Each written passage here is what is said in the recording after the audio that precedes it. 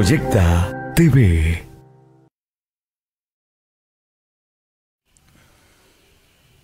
Muy buenas noches, nos encontramos en su programa Socios de Carrón.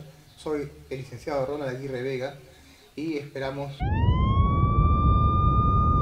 a partir de las 9 de la noche. En su programa donde encontrarán temas sobre coyuntura política, realidad nacional, temas de sociales, cultura, deporte, gastronomía, etc. Para lo cual en esta ocasión, como primer programa, contamos con el fundador, el paz decano, sociólogo, gran este, orador a nivel nacional, Francisco Maya, de ese, eh, quisiéramos que nos des algunas palabras para poder dar inicio al programa. Sí, primero agradecerte Ronald por la, por la invitación a este tu primer programa de Socio de Carrión y desearte los mayores éxitos. Eh, estábamos conversando antes del programa y realmente yo quiero invitar a toda la, a toda la audiencia, a toda la teleaudiencia para que puedan eh, los lunes acompañarte a partir de las 9 de la noche, porque siempre es importante ¿no? tener informada a la población sobre temas de, de coyuntura, realidad nacional, diversas problemáticas sociales, eh, incentivar también el, o fortalecer el tema de la identidad cultural en el país, como tú lo señalas, el tema de la gastronomía, el tema de las costumbres, tradiciones del país, el tema del deporte, que hoy es un tema que, realmente estamos nuevamente eh, presente aquí en la, sociedad peruana, eh, toda vez que tenemos a la selección eh, muy, muy próximo a, a una clasificación, ojalá lo logremos, todos deseamos eso. Y en fin, hay tantos temas que ofreces en tu programa y, creo que esto es importante siempre que la población esté pues pendiente y, se conecte a este, en este horario los días lunes para poder eh, enterarse de todo lo acontecer que ocurre en el país y en la región en especial, ¿no? Claro, es fundamental, como ya mencionó el, amigo Paco, le digo amigo porque ha sido mi, profesor, hoy compartimos eh, parte de la junta directiva, ¿no? Ese, eh, hasta el 2023, a menos de mi parte, y justo también el 28 que, ya transcurrió, se cumplió seis años de la creación y fundación del Colegio Regional de Sociólogos. Y para ello me gustaría también, este, por favor, que nos narre esa génesis, ese proceso ¿no? de conformación, de convocatoria, que se tuvo que realizar para poder llegar a lo que hoy tenemos hoy día, nuestro colegio profesional, un espacio importante y fundamental para la protección ¿no? de los intereses de los colegiados y los que van a colegiarse luego de acabar su carrera. Sí, efectivamente el, el 28 de, enero eh, hemos celebrado un aniversario más de la creación de nuestro Colegio Regional de Sociólogos Lima Provincia. Es decir, nuestra, nuestra fecha de, nacimiento es el 28 de enero del 2015. Y justamente la creación se da con la resolución número 02-2015 del, del Colegio Sociólogo del Perú, firmado entonces por el decano nacional Pablo, Pablo Copa. Pero remontarnos a cómo se dio el origen de la creación del Colegio Regional de Sociólogos, en realidad nos llevaría a hablar de muchos, muchos años atrás, ¿no? Porque no se dio de noche a la mañana. Eh, no fue una tarea, una tarea fácil y es importante aquí también recordar algunos nombres que a veces los hemos pues dejado en el olvido, ¿no?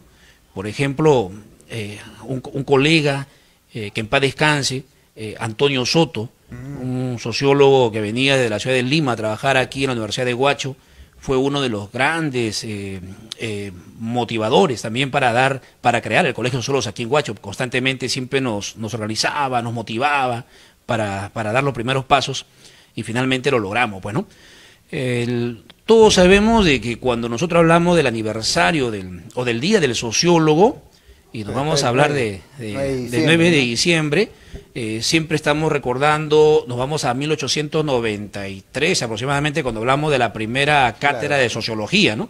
O sea, nosotros, a diferencia de otros colegios profesionales, no celebramos nuestro día como parte de la creación del colegio profesional, sino de la, del dictado de la primera cátedra de sociología, ¿no? Y a partir de entonces, pues, se, crearon otras, se crearon las, se fueron creando las escuelas o las facultades, en esa época, las facultades de sociología, en, la Universidad Nacional de Mayores de San Marcos, luego en la Pontificia Universidad Católica del Perú, Y viene en 1973, cuando se crea aquí en la Universidad Nacional José Faustino Sánchez Carrión, ¿no? Claro. Entonces ahí surge la escuela, en esa época la Facultad de Sociología, y desde entonces ha tenido que pasar pues mucho, mucho tiempo para llegar hasta 1989 aproximadamente, cuando ya este se, se aprueba la creación del Colegio de Sociólogos del Perú, ¿no? Eh, entonces, este, y a partir de ese momento, eh, 1990, hacia el año, al año siguiente, se, se forma una comisión a nivel nacional para redactar la- lo que era el estatuto del Colegio Sociólogo. Y ahí también hay dos personajes de Guacho muy importantes, ¿no? porque no debemos dejar de mencionar a, a dos colegas, fueron mis profesores ellos y también tus profesores, y me refiero a Jorge Canales Fuster Sí. y a Guillermo Ramírez La Rosa, los dos fueron delegados para justamente representar a la Universidad Nacional José Faustino Sánchez Carrión en lo que era la redacción, revisión, corrección de lo que era la- el estatuto de, el primer estatuto de la, del Colegio Sociólogo del Perú, ¿no? Cuyo estatuto luego ha sido corregido en la, Claro. en- el, el año pasado, ¿no? En, en la última, el último año de mi, de mi gestión, ¿no? Entonces, eh, fue revisado por todos los decanos y los delegados nacionales, ¿no? Del en el último periodo eh, anterior de, a la gestión actual, ¿no? Entonces, entonces ahí, ahí están los inicios del, del la creación del Colegio Sociólogo de Perú. Cuando ya el año 90, eh, a- se- eh, con estos profesores que he mencionado, estos colegas eh, y profesores nuestros, Jorge Canales Fuster y Guillermo Ramírez La Rosa, a quien también yo quiero este, rendirles este reconocimiento y, y- y- y- y mi saludo fraterno por cuanto son dos profesionales de reconocida trayectoria y además dieron gran parte de su esfuerzo profesional para, la- para lograr la consolidación del Colegio de Sociólogos a nivel nacional y también a nivel regional, ¿no? Eh, y posteriormente, cuando ya este, eh, estábamos avanzando en el proceso mismo del Colegio Sociólogo del Perú, entonces se formó, se formaron las primeras comisiones, digo las primeras porque hubieron varias comisiones Claro. a nivel de la Escuela de Sociología. Y esto un poco también, como dije hace un instante, eh, motivado y incentivado por el colega pues este Antonio Soto, ¿no? que en esa época era un docente contratado de la escuela y llegaba de la ciudad de Lima. Y después ya vino también como delegado nacional, ¿no? Entonces ahí formamos varias comisiones, algunas fueron desapareciendo en el camino y surgió nuevas comisiones. Tuve la suerte de formar parte de todas esas comisiones. ¿ya? Y, y entonces siempre coordiné con, con Antonio Soto para ver el tema de la creación del colegio, Ya. pero y, tú- y tú has pasado también por la Universidad Nacional José Faustino Sánchez Carrión Sí. y hemos sufrido también algunas intervenciones, pues, ¿no? La universidad Claro. fue intervenida, entonces todo eso a veces frenaba este proceso. Entonces, eh, en, en vista de que muchas veces eh, todo este trabajo quedaba pues postergado, eh, tomamos la decisión finalmente con, con el colega también que en paz descanse, César Samanamú Marsal, Sí. de sacar el Colegio Sociólogo del Perú fuera de la Universidad Nacional José Faustino Sánchez Carrión. Es decir, buscar profesionales que estén fuera de la universidad, que no laboren en la universidad, que estén en otros espacios profesionales y con ellos empezar a formar lo que hoy es el Colegio Regional de Sociólogos Lima Provincia. Quiero ¿no? un, un paréntesis en ese aspecto, una cuestión breve. ¿Por, por qué es importante que el Colegio de Sociólogos tenga su, digamos, su dinámica propia fuera de las aulas? Una cuestión Sí, breve nada claro. Este, nosotros vimos de que en esas comisiones previas a la, a la creación del colegio, eh, siempre el trabajo, el trabajo académico limitaba el trabajo de la organización del colegio de sociólogos. ¿no? Entonces el trabajo académico nos ganaba y aparte, hay que ser sincero, también había pues algún tipo de, de pugnas internas, ¿no? que de repente todavía no creamos el colegio y ya se estaba pensando quién era, quién iba a asumir la declaratura o a quién le correspondía, hay que ser sincero, y entonces eso frenaba la creación del colegio. Y entonces este, yo recuerdo mucho que, que me senté a conversar en la, en la dirección de la Escuela de Sociología con el profesor, este, con el colega César Samanamú, y, y bueno, la- el tema fue tratar el- específicamente la creación del colegio, ¿no?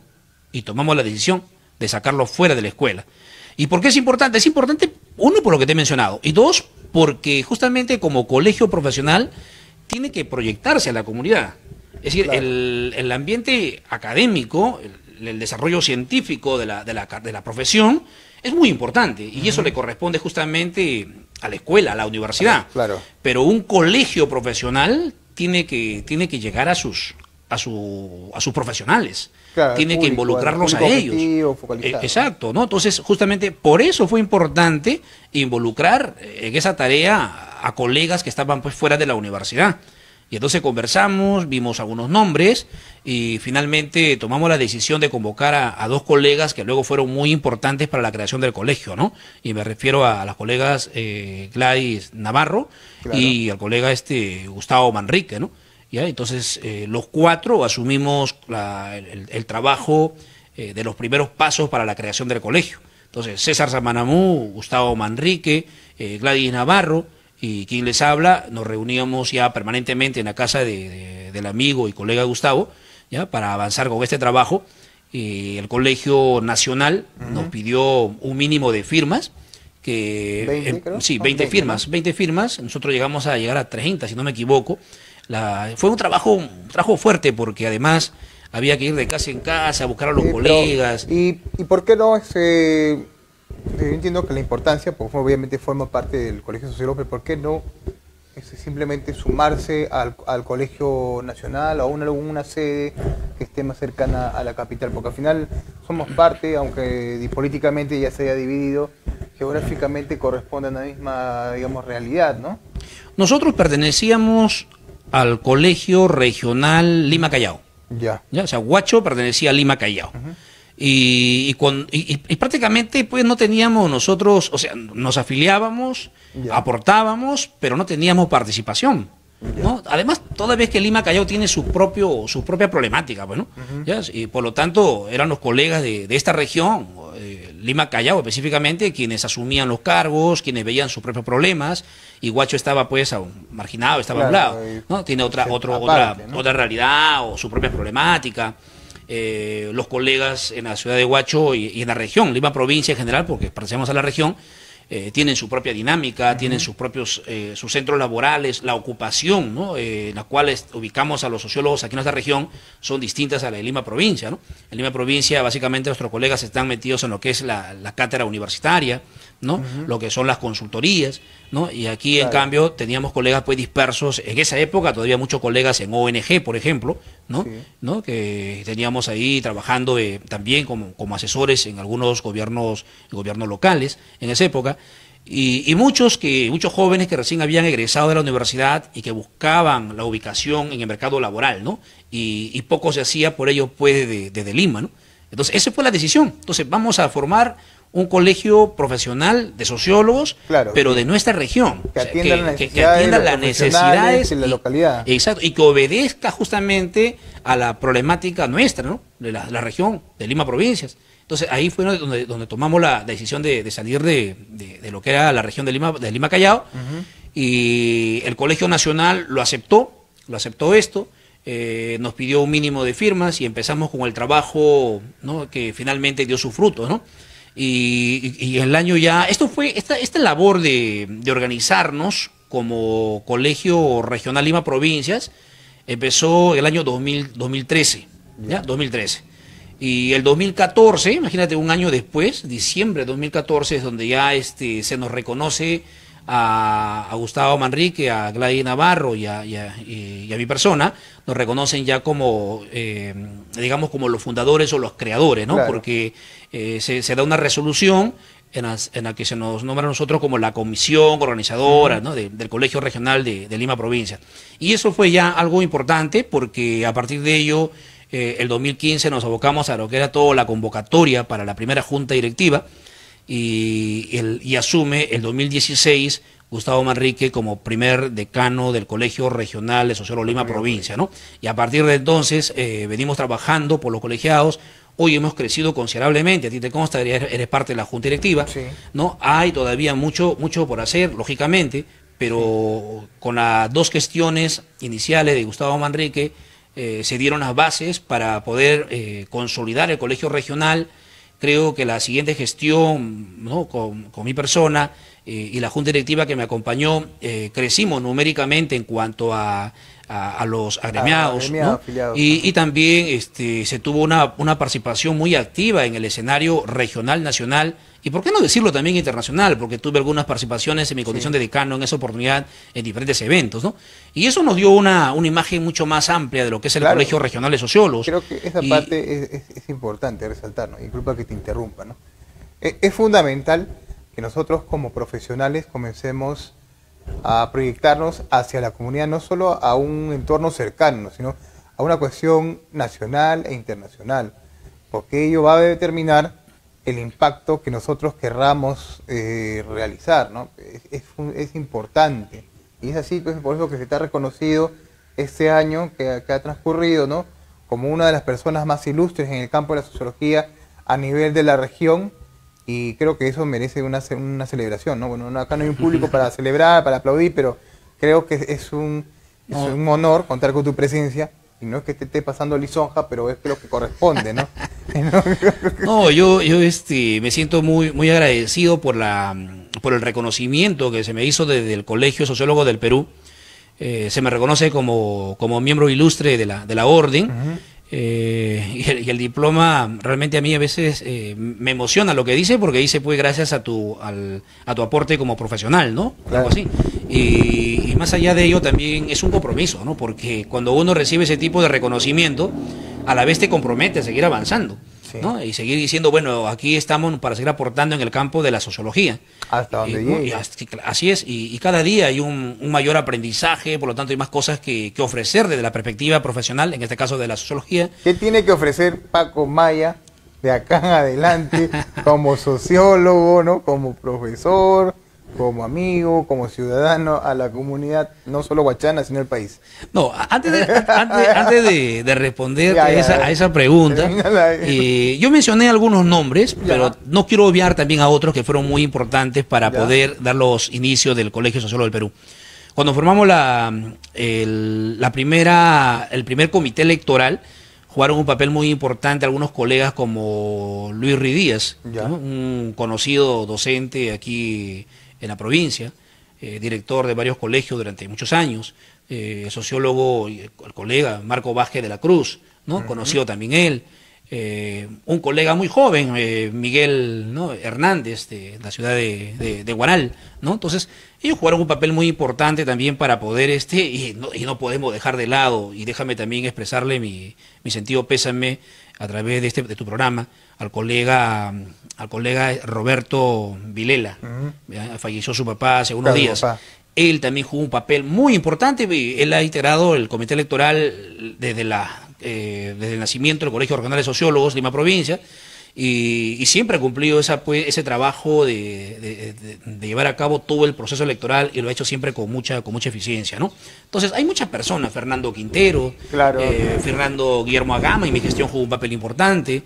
Creo que me cansaría de mencionar, mencionar nombres, eh, el programa es corto, pero mi agradecimiento a todos ellos porque eh, permitieron que el colegio siga avanzando, se siga fortaleciendo, hasta llegar a esta gestión que hoy es dirigida pues por por Juan Jesús Paisín y del cual tú, Ronald, eh, formas parte de esta junta directiva como, eh, como director de actividades culturales y que te felicito también públicamente porque vienes haciendo tu, tu gestión de manera muy bien, lo estás, llevando, lo estás desarrollando de manera adecuada eh, y este, este programa es parte de esa gestión también y por eso que nos permite seguir, seguir avanzando como colegio regional, ¿no? ¿Qué tiene Francisco Maya o Paco Maya, como se le conoce, para ¿Qué ofrecer? ¿Qué más puede? Bueno, este, eh, todos saben que yo me dedico a, la docencia universitaria, es mi, es mi principal eh, función como, como profesional de la sociología y en eso siempre trato de seguir actualizándome seguir leyendo más textos, viendo cómo actualizo algunos conocimientos para que mis eh, futuros colegas, en este caso mis alumnos de la universidad, se formen pues de manera correcta, de manera eh, que vayan adquiriendo las capacidades que se requieren como futuro sociólogo, ¿no? Eso primero, pero segundo, vamos avanzando también ahí constantemente, intercambiando algunas ideas a través también, tengo un espacio a través del canal de YouTube, FM Sociólogo, ¿no? en el cual comparto algunas reflexiones sobre diversos temas, al igual que tu programa, que es de manera directa. Yo programo, yo ahí comparto algunos, este, algunos videos de, de, análisis de diversos temas también. Se me ocurre un tema de, del momento y me siento a reflexionar y lo comparto. Como por ejemplo el, el, deporte, eh, la cultura, la astronomía. Exacto, ¿no? El, eh, ahí encuentras videos de deporte porque el, el, deporte también tiene una mirada sociológica, pues, ¿no? Claro. La gastronomía lo mismo. La, el aspecto cultural para mí es sumamente importante. Eh, yo, me, político. Eh, yo me he capacitado en temas ambientales, pero este pero no, de ambiente. pero no no, o sea, no, no, pero soy de aquellos sociólogos que cree que el que el aspecto cultural es sumamente importante para sí. explicar la realidad social ese ¿Mm? punto es granchano o eh, va por ahí va por ahí va por ahí pero bueno hay hay hoy también Claro. otros muchísimos aportes Claro. que, que pienso que hay que un poco recrear la sociología para entrar más al nivel del, del análisis de los actores sociales. Me encanta mucho esa perspectiva de los actores sociales, quizás para algunos es eso cuestionable, creen que la microsociología no es ciencia, ¿no? Creen que lo cualitativo no es hacer este trabajo académico eh, científico en el campo de la investigación. Eh, yo voy encaminado por ahí. Me gusta más trabajar desde el aspecto beberiano de lo que la gente piensa y siente eh, al momento de entender ciertas problemáticas que están presentes en nuestra colectividad, ¿no? Y en ¿Cómo, eso, y en cómo- eso cómo estamos, así que... comprendería Weber? yo decía que cuando te invité no te dije que no te iba a pedir hablar sobre política y realidad nacional, pero tengo que hacerlo porque necesitamos también algo que algo que sea también sobre lo que del momento, ¿no? ¿cómo, ¿Cómo entendería Weber este proceso actual de gobierno? De una manera sutil, coloquial, amigable, Sí, para sí. que no Mm. tampoco haya roces con otras personas, porque hay que recordar que el colegio sociólogo es la suma de todas las posturas, ¿no? No solo es una, una persona o una mirada, ¿no? Sí, al- al- alguna vez me dijeron de que, el, de que el Colegio Regional de Sociólogos Lima Provincia tenía que asumir una posición política determinada. y, que es, eso- y que eso le estaba faltando Claro, hay- a nuestro colegio ahí. profesional. Y mi respuesta fue que están completamente equivocados.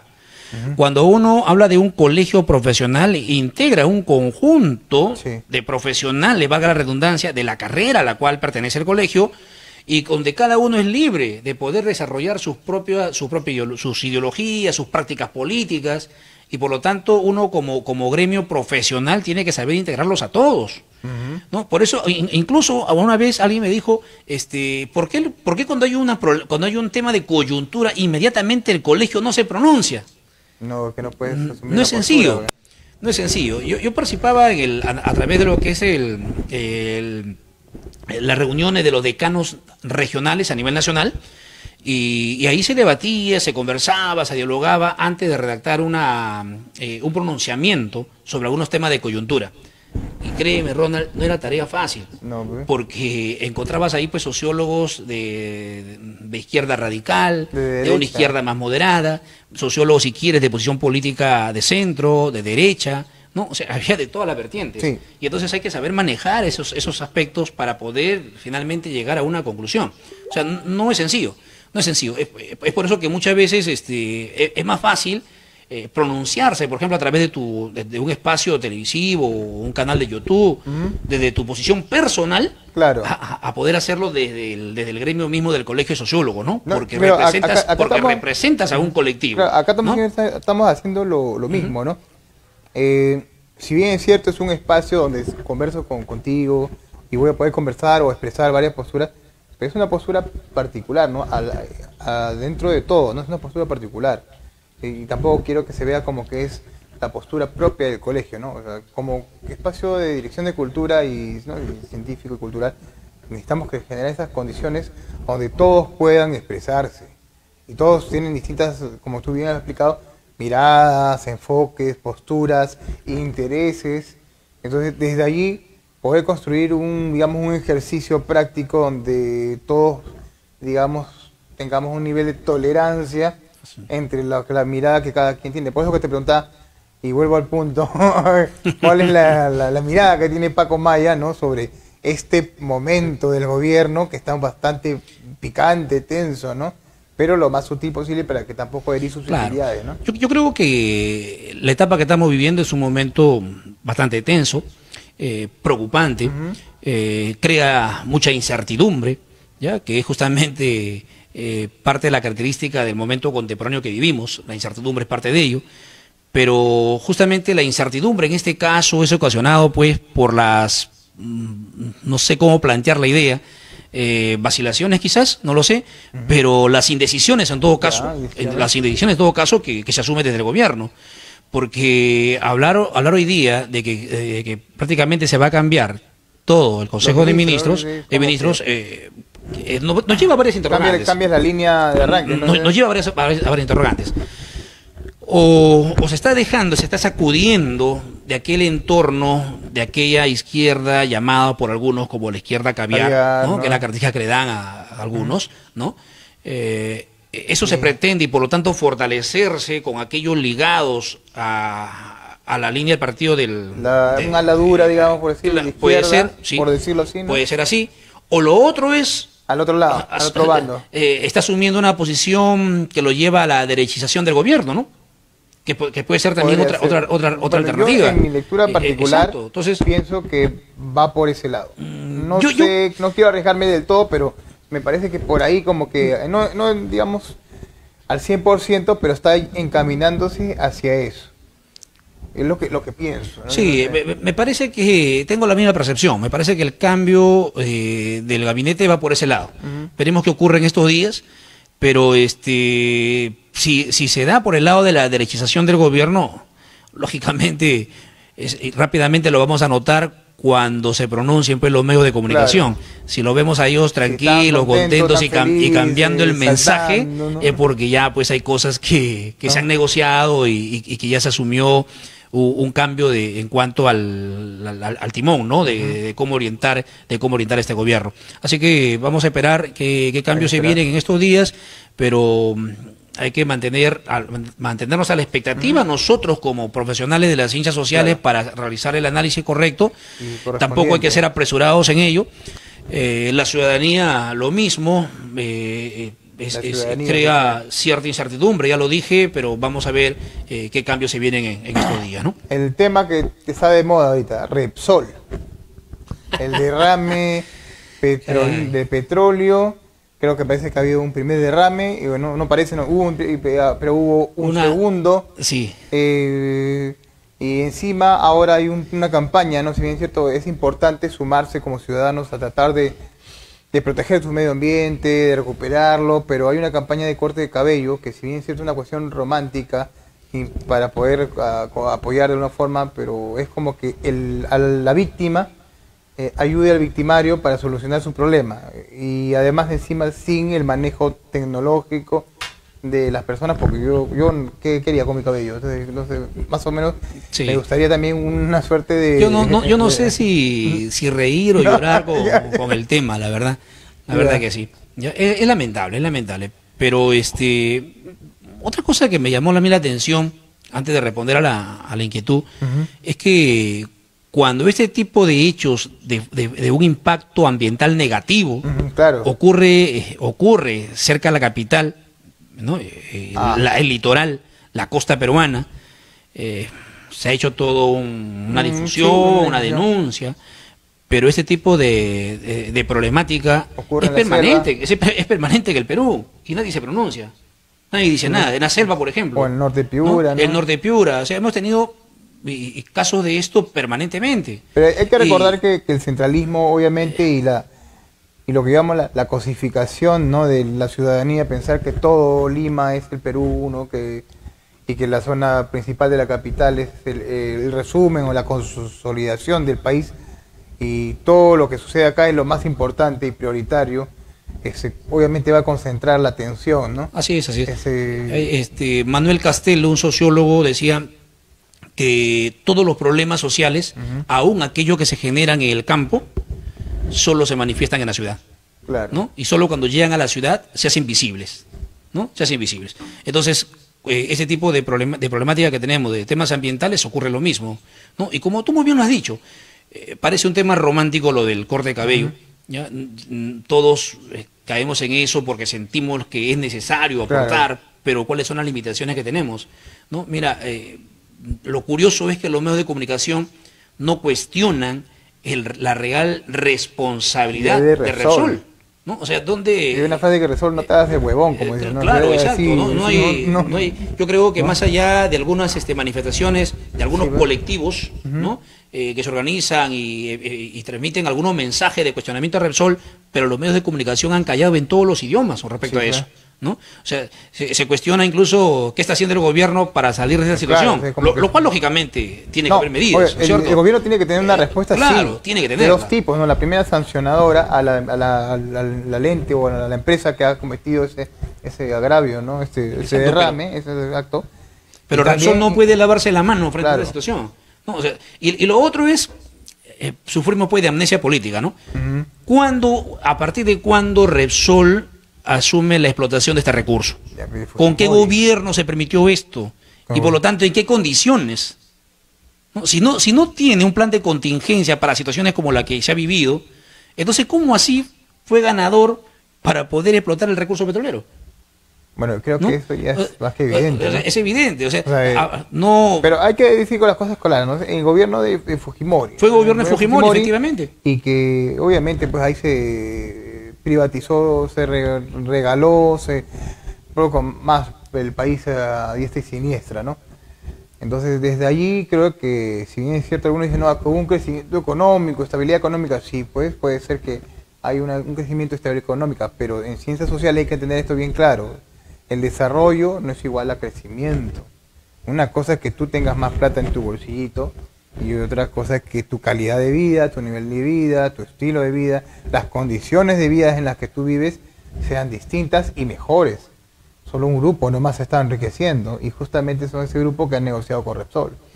No, claro, y como tú hablas justamente del tema del desarrollo, ya hay que entender de que ya quedó de lado hace mucho tiempo, después del Plan Marshall, el tema del desarrollo como crecimiento. ¿no? O sea, se, creía, se creía que a, a más crecía la economía, Claro. de, de mayor desarrollo estábamos hablando. el chorreo económico, ¿no? decía Eh, como Toledo. decía Toledo, ¿no? El chorreo económico. Va a crecer la economía y va a chorrear para todo, y todos nos vamos a beneficiar, cosa que nunca le- llegó. Se le ¿no? chorreó el whisky. Pero, pero ya a partir de ello han pasado pues muchas otras posiciones, aportes teóricos para entender el desarrollo. Sí.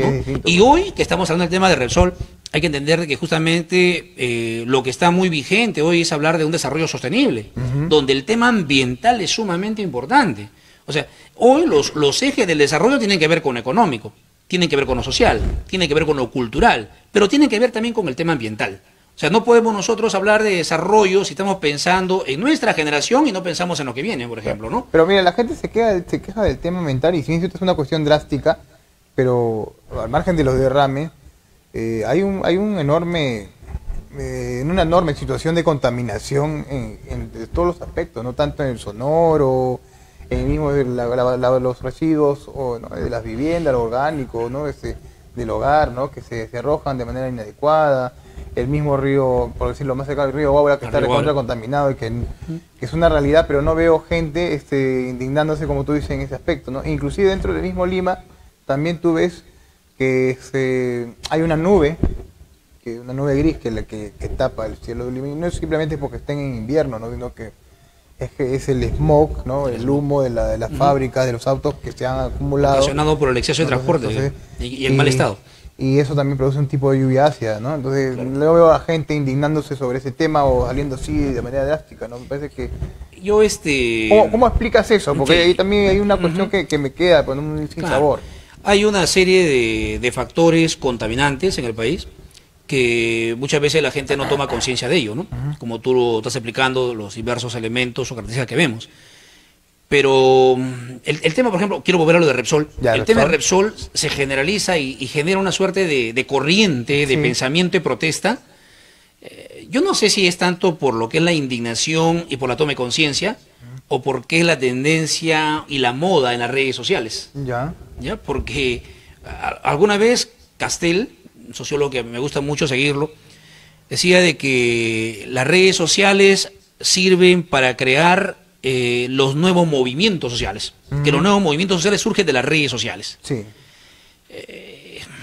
Yo eso lo acepto relativamente, porque cuando nosotros hablamos de un movimiento social, eh, siguiendo a, a otro gran sociólogo, en este caso un francés, eh, Alain Touré, Alain Touré decía de que para que exista un movimiento social tienen que haber tres elementos fundamentales. Ya. ¿ya? El primero es la identidad. ¿Por qué luchas? Y, y el, y el saber por qué luchas es asumir pues, conciencia de la problemática que aqueja tu colectividad. En este caso, por ejemplo, el tema ambiental. ¿Contra quién luchas? Es decir, ¿a quién le reclamas?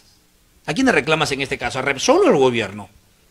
¿Mm? Y finalmente, hablamos del contexto, la coyuntura, el espacio en el cual tú luchas, que también muchas veces son aprovechados políticamente, pues.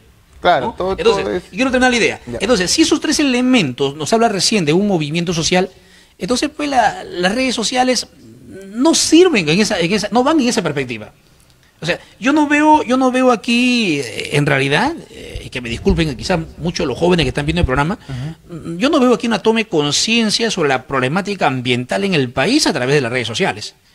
Yo lo que veo es aquí simplemente una tendencia a, a simplemente O sea, lo- estar lo- al, al día con lo que Ya, ya. ocurre y, y- caigo, caigo a lo que dices. Entonces tú me dices Sí. que ahorita lo de lo de Repsol y bueno, Repsol, ¿no? el que ha hecho su derrame de petróleo, es digamos una viralización del suceso nada más. Exacto, Es, es como una... exageración porque por lo mismo que estamos tratando de explicar que el problema de la, del impacto de contaminación que se viene realizando por todas las empresas es mucho mayor para lo que está haciendo. Pero, pero al ser esto parte de una empresa grande, al ver un, un escenario político donde existen activistas, ecolo, ¿no? los, ecologistas, Los ecologistas.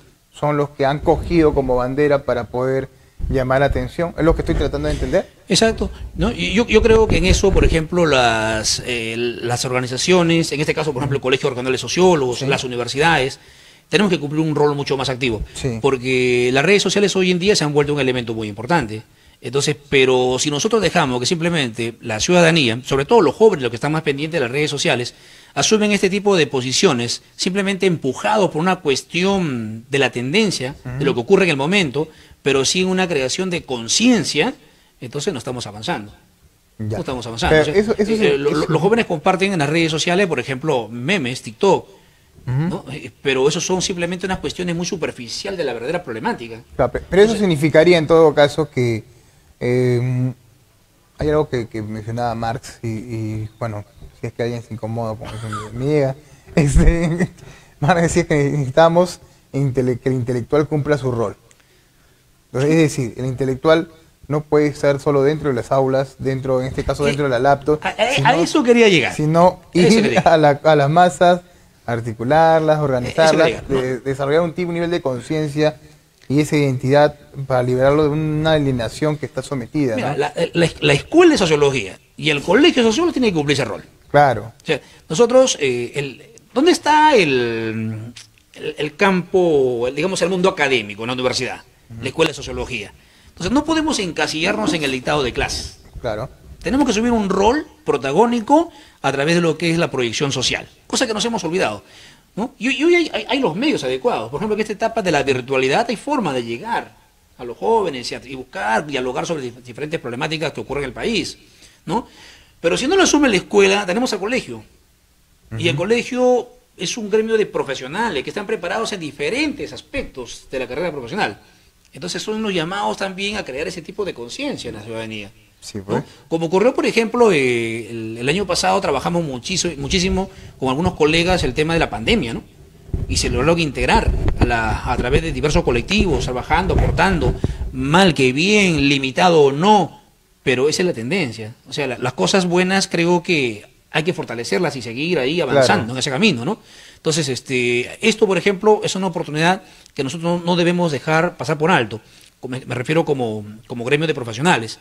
Entonces, acer- eh, acercarnos más a la colectividad, convocarlos, explicar el tema, dialogar con ellos. En fin, hay, hay, hay aspectos que, que no puede quedarse en, el eh, en la mirada superficial del tema, como ocurre muchas veces con, cuando se transmiten esto a través de las redes sociales. Claro. El- se transmite un- una característica, una noticia, algo superficial, perfecto. Es parte, es parte de, de lo que se vive en la virtualidad. Pero nosotros como profesionales tenemos que fortalecer y Ya, explicar. justamente ahí yo quería. em, la virtualidad te permite un abanico de, de cosas, dentro de las cuales por lo general la mayoría son eh, cómicas, lúdicas, agradables al oído, a la vista. eh, y hay que ser también realistas que lo teórico, lo académico es denso y bastante poco atractivo. Em, ¿no, pa- ¿No te parece que tendríamos que también nosotros hacer, digamos, una suerte de, reestructuración del discurso hacia un tipo de léxico más ligado al público, en este caso que deseamos eh, lograr captar, como en el caso de los jóvenes, necesitaríamos en todo caso aterrizar nuestro discurso, no tan técnico, porque yo entiendo que quizás de pronto nos están viendo, espero que no sean pocos, eh, pero, pero nos están viendo un público que ya por lo menos nos comprende, pero si queremos masificarlo y llegar justamente a desarrollar esa, usar esa cuestión lúdica, dinámica, a partir del público que queremos llegar, porque de lo contrario se va a quedar una conversación de amigos Sí. y no va a tener ningún realce, ¿no? Claro, pero los discursos hay que adecuarlo de acuerdo al escenario. ¿no? No es lo mismo el, el- el diálogo o un conversatorio en el, en el ámbito académico, Ya. donde vamos a hablar de repente de diversas teorías para fortalecer justamente la sociología como ciencia. Y otra cosa es hablar de repente estos conocimientos, pero hacerlos llegar a- a- de repente a, a trabajadores administrativos de una municipalidad Ya. que van a desarrollar algún tipo de programas sociales. Otra cosa es el discurso de repente a la, a las- a la población, ¿no? a la ciudadanía. Claro. Entonces son, son discursos distintos.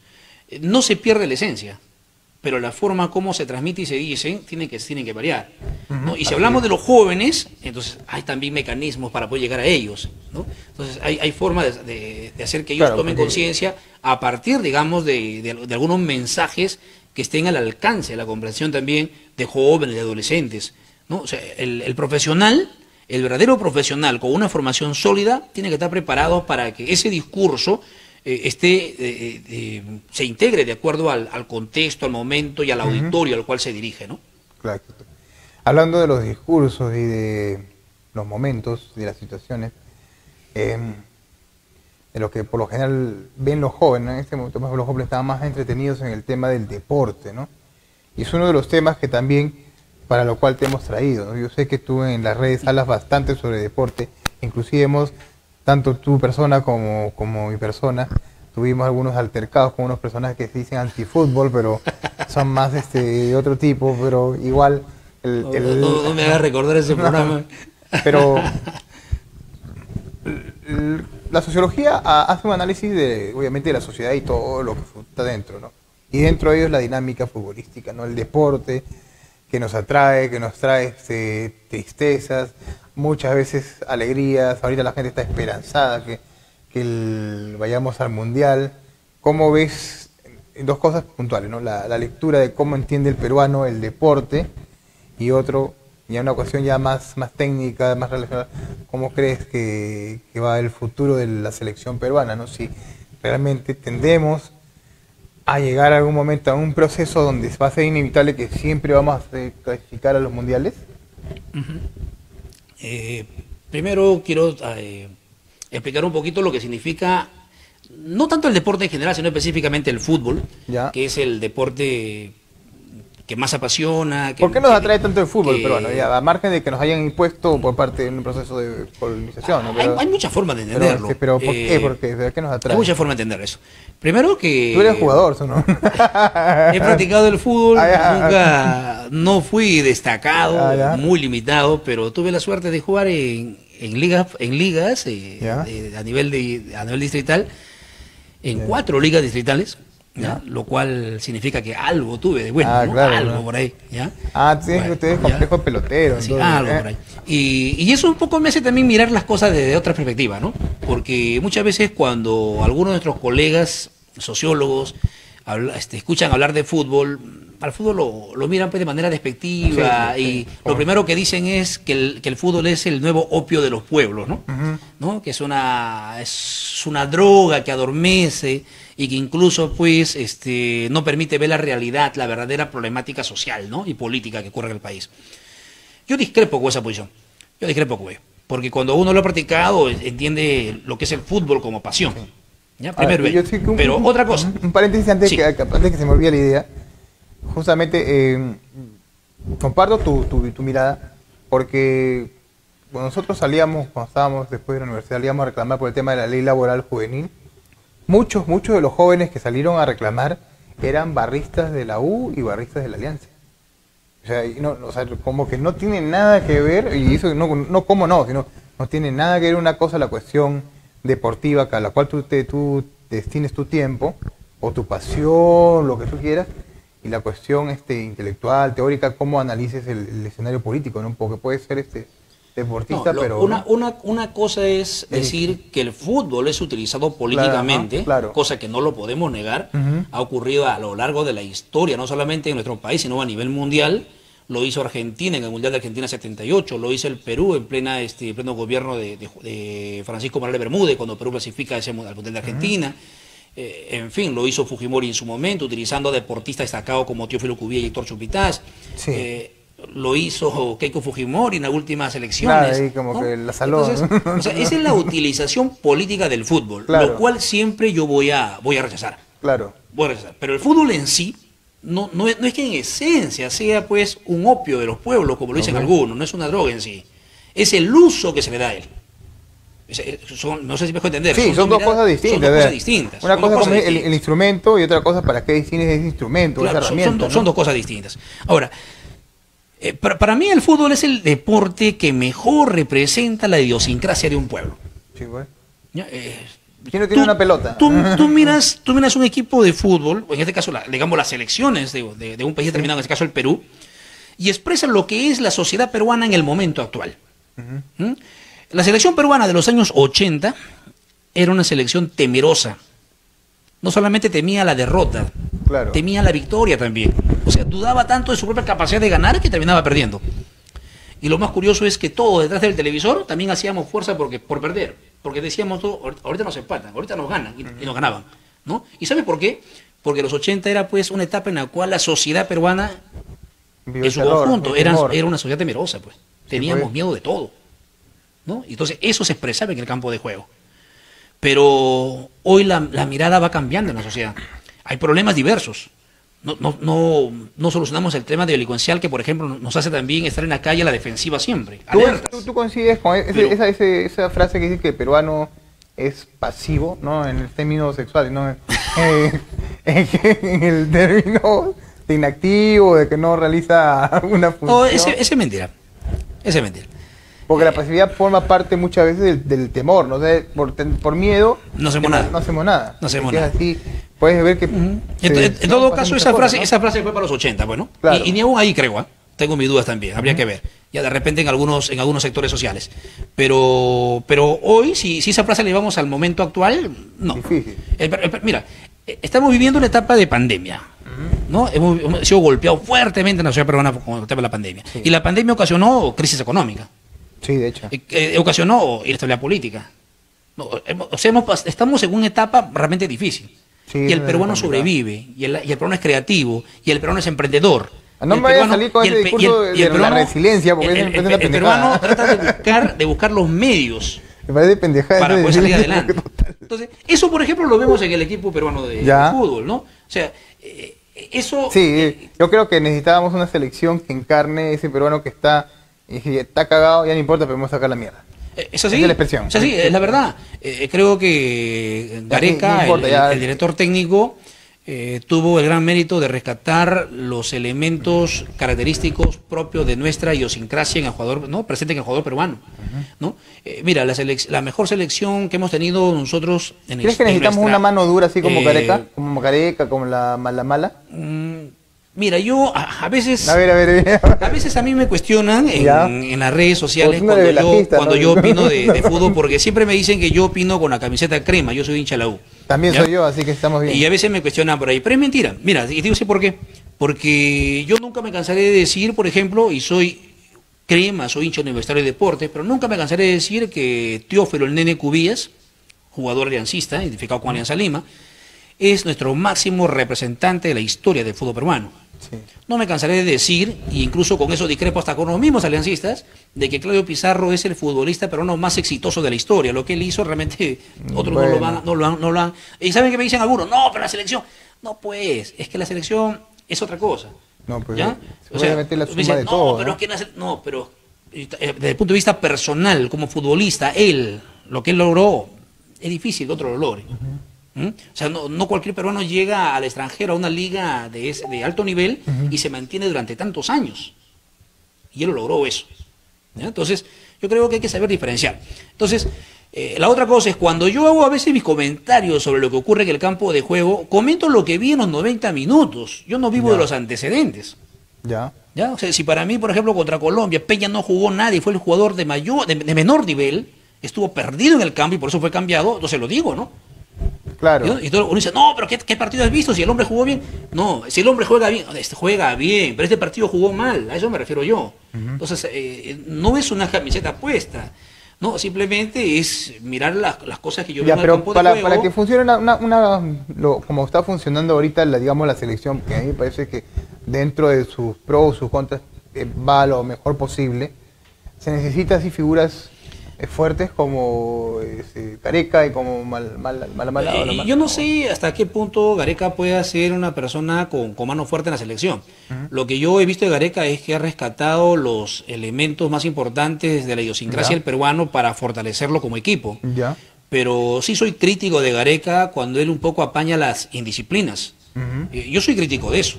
¿No? Algunos me dicen, ya ves ahora qué dices, cuando tanto criticaste a los borrachos de la selección, cuando ahora te, te- te hacen gritar un gol y un triunfo. Pero, pero, son cosas también, distintas. también, también una, una, una discrepancia. o sea, No, son cosas es- distintas. Es malo meterse su chela. Siempre, o sea, como no, no- es- que, mira, A ver, es que la cosa es... tú que eres es experto es en la que- materia. Es que hay una responsabilidad. Ya. Cuando hoy estamos hablando del fútbol a un alto nivel profesional, Sí. están representando no un equipo de fútbol, representan a un país, en este caso al Perú. Y entonces está, llegan, al, llegan al Perú, del, del lugar donde juegan, llegan con una responsabilidad que asumir. Ya. Y por lo tanto, incluso en una sociedad en la cual no tenemos paradigmas, no tenemos modelos, Ya. desgraciadamente ellos se convierten en paradigmas a seguir por muchos niños y jóvenes. Y tienen que ser íntegros en ese aspecto. ¿no? Entonces, yo, Ya, no- pero- no, no está bien, por ejemplo, que un, que un guerrero, que un farfán se alegre en un cumpleaños con tragos, con gente. Ya, yo, te, entiendo, medio, yo te entiendo que ¿no? necesitamos que, O sea, esas que- cosas. que guardar, digamos, la compostura, pero eh, ¿dónde, ¿dónde queda el componente humano? O sea, No, componente humano, oye, yo sin, sin llegar a, a banalizar la- el, el concepto, ¿no? Porque yo entiendo que componente, Es que- es componente que- humano no vamos a decir, ¿sabes qué? No, Hagan es lo que, que- quieran, ¿no? claro. Porque en algún momento este, no vas a estar como un monje, ¿no? O No, sea, pero hay una cosa clara. eh, y yo siempre lo he dicho: en la vida hay tiempo para todo. Ya, ¿ya? pero el momento adecuado hay que realizarlo. Claro. Por ejemplo, termina la clasificación, momento de vacaciones, están de vacaciones y, y antes que ellos se integren a una mm, a la pretemporada tienen toda la libertad para hacer ese tipo de ese tipo de digamos de diversión, ¿no? O sea, llamémoslo así. Pero hay, momentos en la vida. Entonces, si tú estás, estás próximo a afrontar un partido de suma importancia para tu país, Sí. tú eres parte de esa selección, no puedes caer en eso. Yo creo que ese, ese tipo de cosas, y por más, eh, eh, lo que pasa con el peruano, y me refiero al público, al seguidor del fútbol, eh, muchas veces somos resultadistas, pues, ¿no? Ya, Vivimos claro. del resultado. Entonces, cuando se gana, todo está bien. todos somos peruanos, Claro, somos de la todo está bien, y además, este, mira, fulano de tal, un ejemplo claro, ¿ah? cuando nosotros, el Perú clasificó al Mundial de, de Rusia el 2018, eh, yo siempre dije de que en esa selección debería estar Carlos Zambrano, a quien se le excluyó de la selección, ¿ya? Y todo el mundo, y, y que él era el llamado a estar en esa selección, en ese equipo, yo siempre dije eso, ¿ya? Y, y todo el mundo me decía, no valores el equipo, porque tienes que siempre estar en contra de la opinión de los demás. El equipo ya logró el título, que se, el- la clasificación, que se mantenga y que ese equipo vaya al mundial, en fin, en fin. ¿No? Eh, es que no es así. Las cosas no hay que verlas no aceptando todo cuando se gana. Claro. Aún cuando se gana, uno tiene que ver en qué estamos fallando. Por Sí, ejemplo, pues. el partido contra Colombia, todos los hemos todos los seguidores de fútbol lo hemos vivido pues los 90 minutos con de manera muy tensa. Eh, yo puse ahí en el Facebook, si no me da un este, si no sufro un paro Claro, cardíaco, claro. no sé, esto va a ser un milagro, porque la verdad era bastante dramático el partido. Pero viendo fríamente se cometieron muchos errores, pues, ¿no? Ya, Ya, se o sea, yo- sí, te comprendo. La, la lógica de hay que hacer un balance de los del cómo se ha venido desarrollando, digamos, el, el partido y qué cosa podemos mejorar hacia adelante, ¿no? Eso eso estamos de acuerdo, ¿no? Pero pedirle la, la perfección o lo más cercano a la perfección deportiva a esta selección, ¿tú crees que es pertinente? Yo creo que, eh, primero, que en el fútbol eh, nadie es eterno. Eh, Ujú. la renovación siempre viene. ¿Ya? Ya, eh, hay jugadores que ya cumplieron su ciclo. ¿Como eh, quiénes, por ejemplo? Farfán, Guerrero. Y hay que agradecerles porque... ¿Guerrero tú crees que debería ya retirarse? Yo creo que Guerrero ya no debería ser convocado, Farfán tampoco. Eh, En el, caso de son- me, me preocupa tu, tu son, opinión. Son, son 38 años lo que tienen ellos y hay que agradecerle todo lo que hicieron, pero ya ¿Por qué Guerrero? ¿Por qué? Yo, yo soy de Guerrero, así que sí. No, Gue- Guerrero ya no, porque en primer lugar ni siquiera está en actividad ahora. ¿Ya? Eh, a una, a una sele- yo soy crítico cuando se convoca a un jugador que no está en su mejor momento. O sea, no, no se le debe convocar por lo que por lo que es su trayectoria, por lo que significó en la historia, Ya. sino por lo que está lo que está viviendo en ese momento como futbolista. ¿No? O sea, a la selección no puede llegar a alguien a ganar minutos para demostrar su calidad, Ya. sino que a la selección debe llegar alguien que está en su mejor momento. O sea, es- es- es- esa es la idea que yo manejo y siempre lo he dicho. Entonces, cuando Pero tú crees entonces que, que Guerrero ya no tiene para aportar. eh, Guerrero tiene 38 años para empezar. Segundo, todavía no se recupere su lesión. Entonces, así se recupere y aquí para las últimas fechas creo que ya no... No va a estar en óptimas no está en condiciones. óptimas condiciones. Ya. Y para el Mundial... ¿Quién con- debería, quién, debería. ¿Quién debería ocupar el puesto de Guerrero, por ejemplo? No, ese es otro tema. Yo creo que ahí, eso ya no quiero meterme en ese, Ya. en ese tema, porque le corresponde a, a Gareca, A Gareca. Y, y a quien convoque, hay que apoyar. Pero cuando tú a quién verías una persona, por ejemplo, que más o menos cercana. Mm, mira, me, me gusta este muchacho ormeño, el que lo han convocado ahora último, y jugó unos minutos contra, contra Colombia. Eh, creo que es, porque de todas maneras, a quien convoquen en lugar de, en lugar de Guerrero o en lugar de Farfán, eh, lo van a convocar en condición de suplente, porque Claro. el titular es la Padula, sí o sí, es, es el 9 que tenemos hoy. ¿ya? Chancado eh, está no, pero va a jugar, de todas maneras, es el, el hombre se da íntero, ¿no? Y eso, y eso es, eso es meritorio. Entonces, este, ah, yo creo que el primer, el primer suplente ideal para, para, este- para el puesto de la Padula debe ser Ormeño. Yo le he visto jugar en la liga, en la liga mexicana, realmente responde a, eh, a, a un nivel de selección. Y quizás con partidos amistosos podría ganar mayor, mayor presencia eh, y darle un, un aporte a la selección. ¿no? Creo que creo que por ahí, y si, y si el técnico convoca a otro, yo quiero ser claro en eso. Hay que apoyar a, a Gareca en la medida que él convoca a un jugador, pero eh, yo soy crítico de convocar jugadores de 38 o 39 años Ya, para pues, ser suplente y darle 5 minutos, 10 minutos. O sea, de- no me sirve de nada darle 10 minutos a un jugador de 38 años. ¿Para qué? Para que vaya madurando, para que vaya ganando minutos, para que vaya ganando experiencia, para el próximo mundial. No, pues, ya no va a aportar. O sea, a eso yo voy, ¿no? O sea, ya no, no, no- tiene sentido. Entonces, eh, hay que convocar siempre jóvenes, Claro, porque pensando de que esta es la generación que va a cumplir su ciclo, que nos está dando muchas alegrías, ¿ya? Eh, ojalá Cuevita fuera mucho más profesional, porque es un jugador extraordinario. Desgraciadamente, muchas veces eh, lo traicionan su, su, misma, su mismo comportamiento, Pero su conducta. ¿no? los del norte, Eh, pero, pero en la selección realmente Cuevita se transforma, es el verdadero conductor del país y también me preocupa que muchas veces no- somos nosotros pues cueva dependientes, ¿no? Dependemos muchísimo del juego de él y mañana no va a jugar él. Entonces vamos a ver cómo se desenvuelve la selección sin, su- sin la presencia de este jugador, ¿no? Así es. Bien, Paco, casi estamos llegando ya a los primeras, ¿no? De nuestro programa. Me gustaría que, digamos, no sé, unas palabras para de, de cierre, ¿no? Digamos un resumen, un síntesis, algún, una algo, un mensaje que tú Sí. quieras decir. Sí, no, primero volver a resaltar el tema de, del sexto aniversario del Colegio Regional de Lima Provincia y aprovechar este espacio para enviarles un saludo fraterno a, a todos los colegas de nuestra región y, e invitarlos a que sigan pues aportando eh, eh, en el tema del fortalecimiento de nuestro gremio. Creo que hay todavía muchas cosas por hacer, pero el compromiso es de todos. El Colegio de Sociólogos eh, no es de la Junta Directiva que dirige en una gestión determinada. Claro. No, el Colegio de todos. Sociólogos es de todos. Y todos debemos jugárnosla siempre, así como, como nosotros eh, pretendemos jugar nuestro partido apo- apoyando a la selección peruana para lograr el éxito, igual nosotros del Colegio Sociólogos todos tenemos que apostar por nuestro gremio profesional siga fortaleciéndose y siga teniendo mayor presencia en la comunidad. Eso primero. Y segundo, invitarte, este, Ronald, a que como integrante de la Junta Directiva eh, sigas pues este abriendo este tipo, este tipo de espacios, de, de diálogos.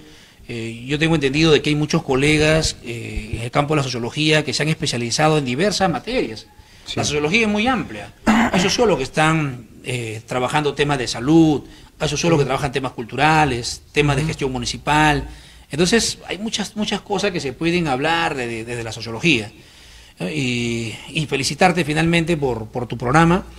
Eh, te agradezco la invitación y estoy seguro de que realmente todos los lunes, a partir de las 9 de la noche, eh, poco a poco vas a ir ganando mayor teleaudiencia porque conozco de tu calidad profesional, eh, sé que cuando te propones algo pones todo el esfuerzo para que esto salga bien y siga adelante. ¿no? Mis felicitaciones, eh, Ronald, y gracias por invitarme a, a tu programa inaugural. ¿no? Sí, de pues. alguna manera me convierto pues en el padrino de este programa, ya que Otra no me lo han dicho, pero Otra ya. vez fundador. Doblemente fundador. éxito, Ronald, en tu programa. Gracias, Paco. Eh, sí, es cierto. Eh, es el programa inaugural. eh, cuento con fue uno de los fundadores del Colegio de Sociólogos de la región y ahora uno que contribuye a la fundación del primer programa de Socio de Carrión al aire en vivo. Y eh, hay que recordar es que este es el espacio de todos los sociólogos y sociólogas, siendo, digamos, integral, ¿no? usando un enfoque. Hay, este, hay una cosa, hay una cosa adicional Dime, que estábamos hablando fuera, de cámara y quiero que quede como primicia para tus, ya, para, para que- tus seguidores. Recuerden que este programa sale todos los lunes a las 9 de la noche. Y el lunes 14 de febrero, Día del Amor y de la Amistad, también habrá un programa especial. Claro, Así que candente. candente, candente. Candente. ¿ya? Con algunos, Claro. con algunos tips especial para las, para Claro, las parejas. Para que puedan pasar de la mejor manera este 14 de febrero, ¿no? Bueno, algunos, los que tienen privilegio de poder pasar el 14 de febrero de la mejor manera. Entonces, gracias por tu participación, Paco. Como le digo, ese es el espacio de todos los sociólogos y sociólogas. Eh, el programa se ha creado justamente para poder difundir eh, como medio o como vocero del Colegio de Sociólogos y esperamos contar con la disposición de todos los profesionales, eh, estén en la junta directiva o no, ¿no?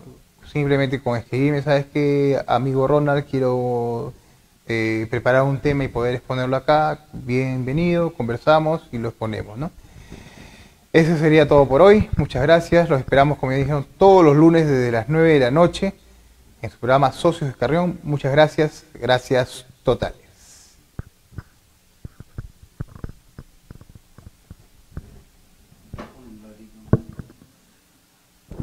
Hola amigos, les saluda Ronald Aguirre del Colegio Regional de Sociólogos Lima Provincias. Para comentarles que estaré todos los lunes desde las 9 de la noche en un programa de nombre Socios de Carrión, donde transmitiremos temas sobre coyuntura y realidad nacional. Siempre desde la señal de Proyecto TV. Proyectamos lo que más te gusta.